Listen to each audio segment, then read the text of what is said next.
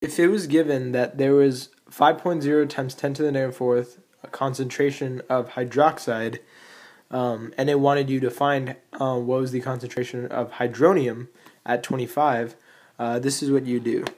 You would have the formula, which is the ion product constant, is the product of hydronium and hydroxide, and um, you you can just plug in information. So at 25C, um, the ion product constant is always 1.0 times 10 to the negative 14.